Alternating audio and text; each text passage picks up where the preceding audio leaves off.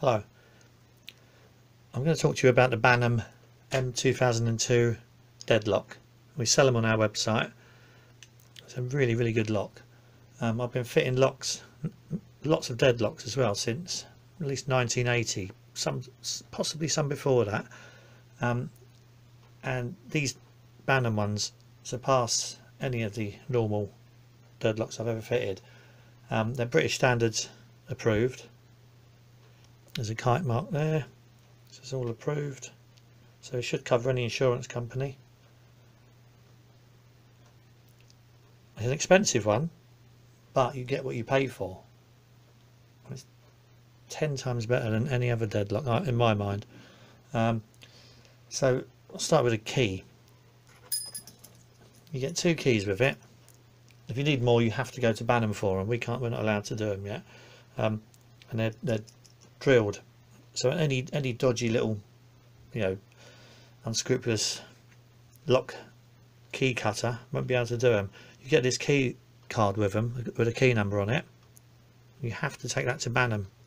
You've got to register with them first. You get a registration form. So you register that with Banham. So you can get extra keys cut. now the lock body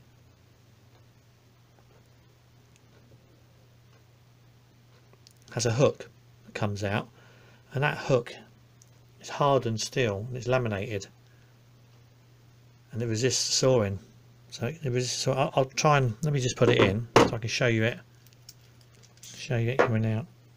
This is the fiddly bit. You have to to fit these in it's a it's not easy.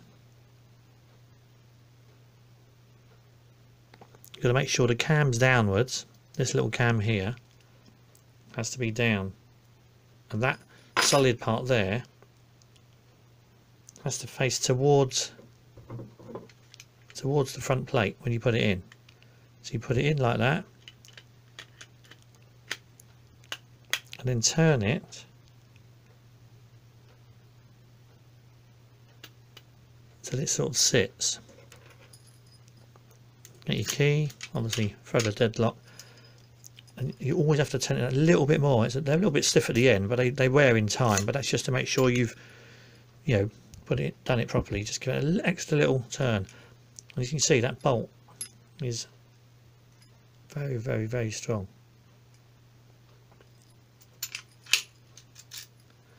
Out again. There's a little locating, some little locating lugs there that you can see them in this light. One there, one the other side that sit into the into there. And that's that. The lock guards. These go either side of the lock once it's fitted inside the door. Like that, sandwiches it in the door. So all that timber you've taken out for this, these actually bolt right through the door, each side of the door, sandwiches the lock inside. So all the timber you've taken out these help prevent the door from splitting. They're a really good addition. They come with it as well. Now the keep, this lock keep that goes in the frame, it's like double the size of any normal British standard lock keep. I think the normal Chubb is about that big. So you see it's much much bigger, much much stronger because it's got like six keys, six screws holding it in as well. So they'll have a job splitting the frame with this on.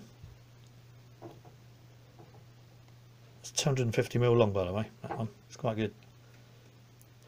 I said about the barrel, barrel six pin anti-drill cylinder, and it's really hard to snap because they they're screwed in from the back with some little screws that come with it. And all the fixing screws come with it. Two little locating screws go right through the lock and bolt it on. Now, that's that's the lock. I'll try and do a, a, a zoomed in version of fitting the barrel to the um, case later because that's quite hard. I'll do that as a separate video.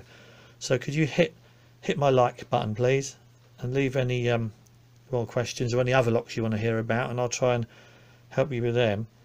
Um, and you can subscribe to me on YouTube as well and I'll be adding more and more lock videos as I go on. Thanks a lot and don't forget we're lockmonster.co.uk thanks